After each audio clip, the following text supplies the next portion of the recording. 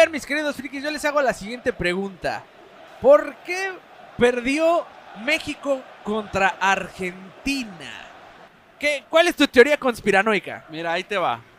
Ah, en primer lugar, que este el jugador ¿te había dicho? Funes Mori. Funes Mori pues es argentino, ¿no? Es Ajá. naturalizado mexicano, pero es argentino.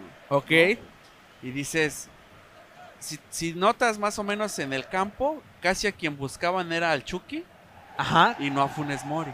¿no? Siempre iban por la banda del Chucky y tratar de darle pase y esto lo otro. Ok. ¿no? Ese es por un lado. Por un lado. El segundo lado, porque muchos dirán, bueno, pero es- no, no puede haber ahí mano negra, ¿no? O sea, no se pudieron haber dejado ganar, ¿no? Porque dices, o sea, el DT, pues es quien mete a los jugadores, ¿no? Claro. Y oh sorpresa, el DT es argentino.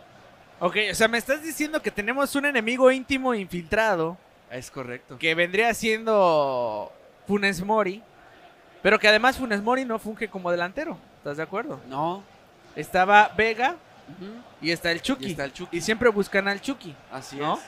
Pero entonces, ¿qué me estás diciendo? Que llegaron al digo, a los vestidores de México y le dijeron, che boludo al DT, este, es el último partido de Messi. Por favor. Y el otro, el Tata, el, el Tata Martino, al ser argentino, va a decir, oh, por supuesto, ¿cómo no? Sí, yo siento que ahí- claro, me voy a dejar ganar, ¿no? Yo siento que ahí hubo mano negra, quizás no así al 100%, pero una, es el último mundial de Messi. Sí. Dos, Messi no ha brillado. Desde el primer partido con Arabia Saudita, no brilló absolutamente nada. Este segundo partido que era con México, obviamente tenía que darlo todo, ¿no? Y, oh sorpresa, el DT es argentino, está Funes Mori adentro del, del equipo. No sé, pero me huele mucho ahí a conspiración para que Messi, pues obviamente juegue el último mundial de su carrera, ¿no? O sea, Y brille. y brille como debería Como de dice decir. Zoé. Es correcto. Brillas, y brillas tan lindo. Miren, uno no sabe de fútbol, uno no es experto, uno no anda siguiendo la liga como para decir, mira, este sí es buen contención, este sí es buen delantero, este hace su buen trabajo en la media. Estamos totalmente conscientes. Ahora sí que llámenlo como ustedes quieran. Este, es una teoría que se nos ocurrió. Y esto porque empezamos a ver diferentes este, videos Es de, que- de YouTube, contenido de YouTube, en donde pues unos decían, oye, pero es que este, eh, el que me decías tú, ¿no? Que Adrián Marcelo y la mole estaban haciendo encuesta con los argentinos. Sí, oye, sí. pero es que nosotros tenemos a Funes Mori, ¿no? Por decir sí, algo. sí, sí. Y, lo los otros. ¿qué, qué respondían? Pues es que, oye, no compares a Funes Mori con Messi, ¿no? O sea, oye, es Messi Dios, ¿no? Messi God le llaman. Messi mucho. God, el Messi God, exactamente. Y mira, hay algo bien cierto, o no me van a dejar mentir, este, mis queridos frikis, pero ustedes eh, díganlo ahí en el chat, pueden participar. Hay una cuestión. Mi hermano ha visto, ha tenido la oportunidad de ver más partidos mundial- del mundial ahorita, porque pues yo ahorita ya, de hecho, en unos minutos me voy a trabajar. Pero eh, los únicos partidos que he visto yo han sido ahorita el de los de México, literalmente. Y la verdad, les vuelvo a, a insistir. Vi el primer tiempo vi un México muy cañón, un México muy insistente, un México que tenía todo para poder darlo y ganarle sin problema a Argentina. Pero vi a una Argentina que dependía de Messi. O sea, es de decir, no, pásasela a ese güey que haga, que haga, que haga. Y el Messi las perreaba y todo, pero los demás no.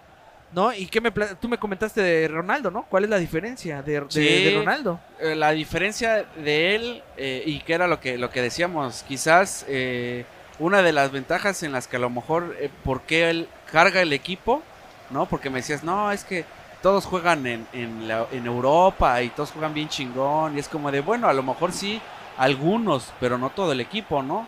Como eh, luego ha pasado con México, ¿no? No, pero pues si él juega en Europa, ¿por qué no se ve la diferencia? Bueno, porque siento yo que no los enseñan a jugar como allá, ¿sabes? No, no les dan tips, no, no, no este tipo de cosas.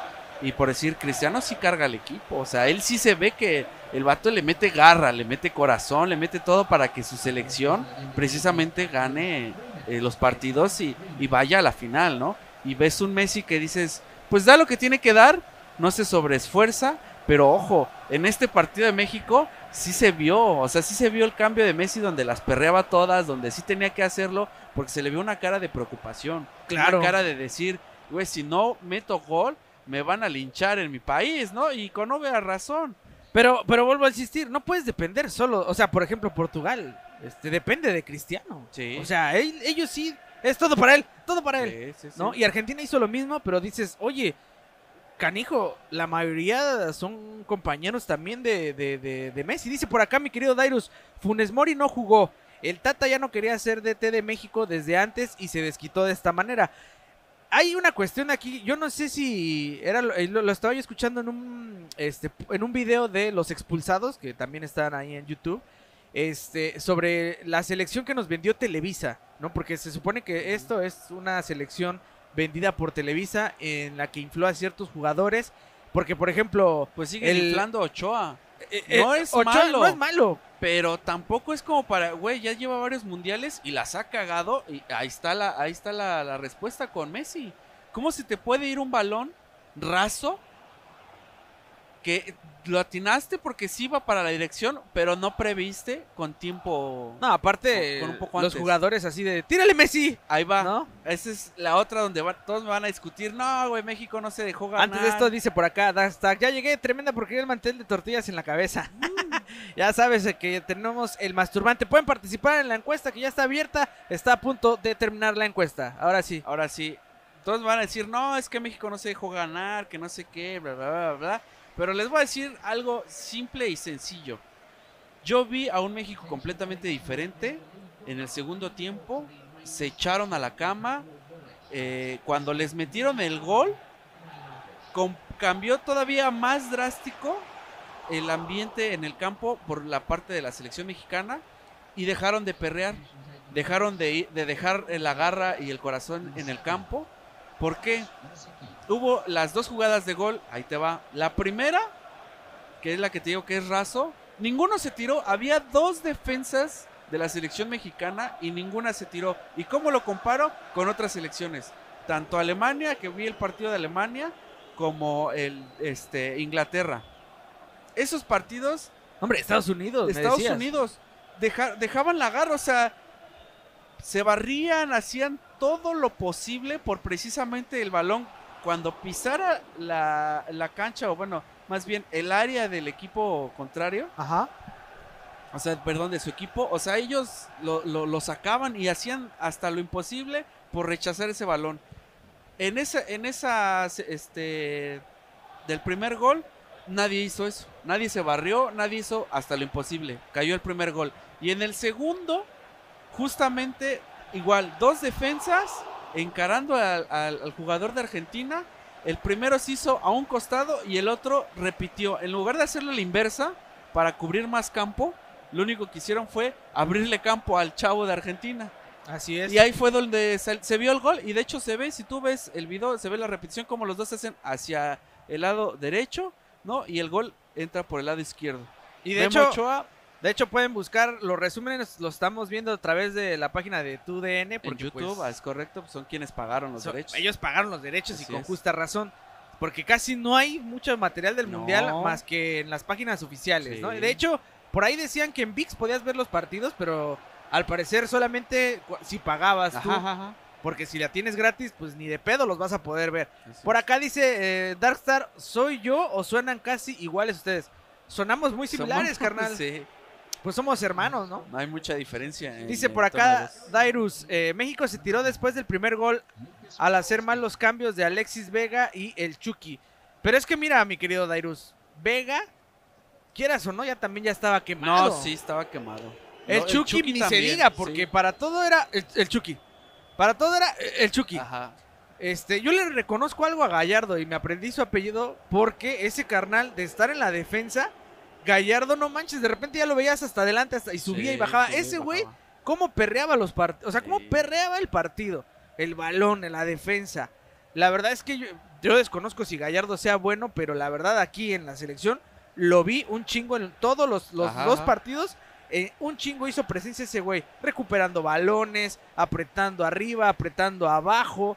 O sea, creo que la selección no es mala, Pero, este, evidentemente, a lo mejor los cambios no fueron los adecuados. Nuevamente volvemos a ver que los cambios no son los adecuados.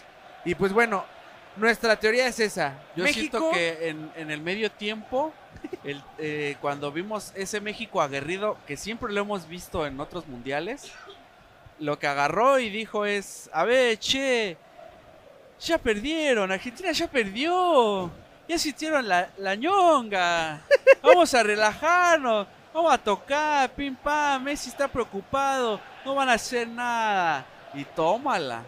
y Les salió México bien con confiado, ¿no? bien Con el Tata Martino, con ¿no? el Tata Martino. México ya está, ya, Argentina ya está echado. Ya está echado, ya, Ya está ya no echado, tiene ya no va a hacer nada. che. No me rompa la pelota, Sí. boludo. Es el último mundial de la pulga. Sí, sí, ¿No? yo siento que por Y entonces el Tata de haber dicho, sí, claro, este, no te preocupes, yo te voy a dar el- este, la situación relajada.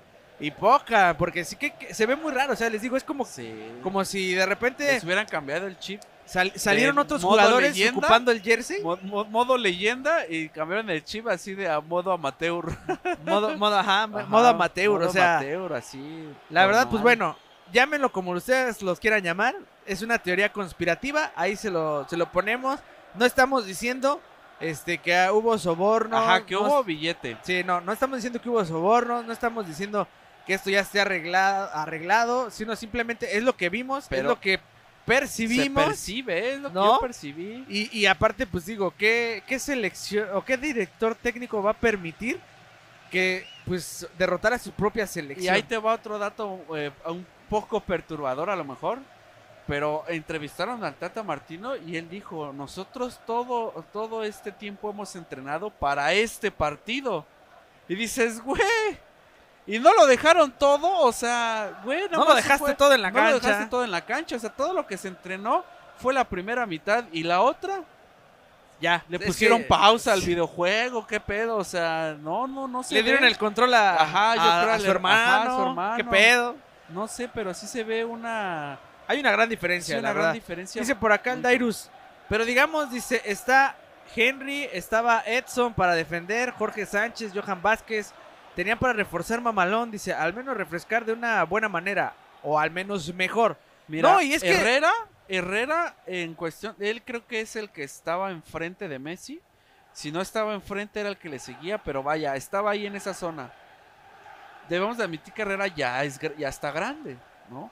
Pero dices, güey, si vas a, a tu selección, pues también dejas la garra y lo único que hizo fue cubrirse y no más. Y entonces el balón pasa por abajo y es como de, no, papi, pues échate, bárrete. O sea, algo, ¿no? O sea, Claro, por supuesto. O sea, bueno, insistimos.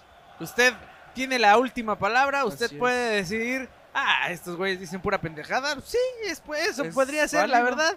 Pero sí, nuestro sentir fue ese, ¿no? Nuestro sentir fue, eh, por, le jugamos por este lado para que, pues, este, Messi brille, porque al final Messi, pues, no ha podido lograr cargar con Argentina, ¿no? o sea, no, no. definitivamente, este, tienen la otra actitud latinoamericana, ¿no? Que es eh, ah, pero yo para qué la perreo si ya la está perreando Messi, ¿no? Y en cambio los de Portugal veían que Cristiano Ronaldo las perreaba y todos los demás las perreaban. ¿Por qué? Porque Sí. su figura, su, su ídolo, su, su máximo, también las perreaba. Entonces Sí. Son dos maneras distintas de de pensar. pensar, una es, eh, él lo va a hacer todo, y dos, me voy a poner a su nivel. ¿no? Ajá. O sea, digo, si a mí me pasaba de morro cuando jugábamos, era de, güey, pues tienes que dejar acá la garra, corazón y todo en la cancha, ¿no? En el partido, aunque sea una pinche cascarita. Claro. Pero te pones la camiseta del equipo, ¿no? Y dices, güey, si este güey puede, yo por qué no. Entonces vamos a jugarle a ese nivel y a forzarnos y a hacerlo, a sacar el, partido. Pero pues la verdad es que no se vio, no se vio. Pues ahí está, ahí les dejamos nuestra teoría conspirativa. Ustedes saquen la última palabra.